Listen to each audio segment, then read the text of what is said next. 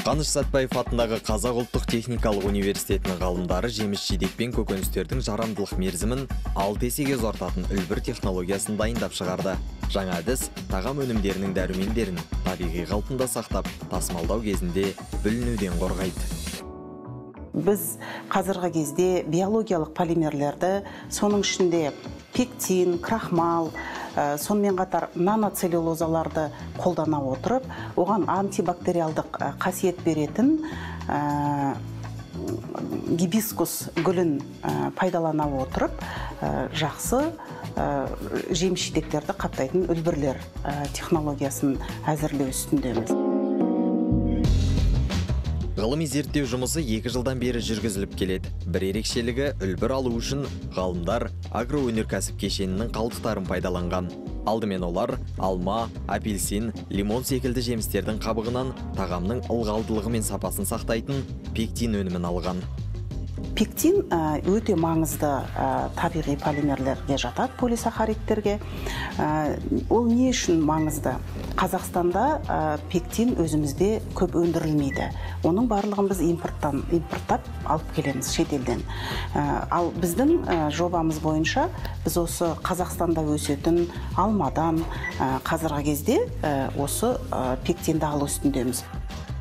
Зерттеу жұмысында тек отандық өнімдер қолданылады. Пектин құрамындағы маңызды элемент янтарь қышқылы.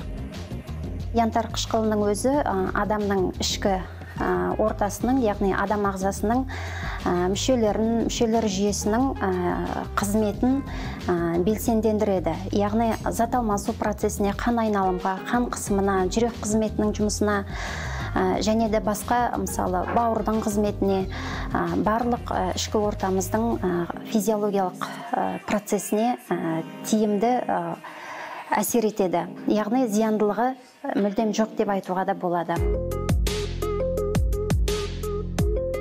Тағам өнімдерінің қаптамасын дайындау үдерісі үш кезеңнен тұрады.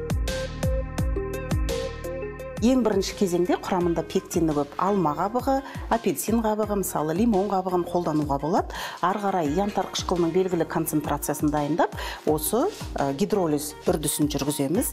Артынан сол гидролиз үр- үрдісін жүргізгеннен кейін спирттік ерітіндіде пектинді жеке бөліп аламыз. Енді жоғарыда айтып кеткендей жаңағы біздің үлбірлерге антибактериалдық қасиет беретін затымыз ол жаңағы гибискус гүлі. Гибискус гүлінің белгілі концентрациялы ерітіндісін дайындаймыз да. Артынан осы ә, аталған заттардың крахмалдың ерітіндісін дайындап аталған заттардың барлық ә, ерітіндісін бірге қосып араластырып осыны қаптауға ә, қолданамыз енді қаптау негізінен осы жеміс жидекті ішіне енгізу арқылы біраз уақыт ұстап тұрып одан кейін алуға негізделген. Міне осылайша біз жеміс жидектерді қаптап оның қолдану мерзімін жарамдылық мерзімін ұзартуға тырысамыз. Үлбір таза экологиялық әдіс арқылы алынады. Оның адам ағзасына еш зияны жоқ. Дәл қазір менің қолымда үлбірмен қапталған алма тұр.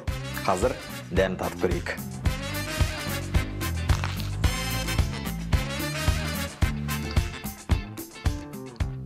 Бір қарағанда қарапайым алмадан еш айырмашылығы жоқ. Дәмі сол қалпы.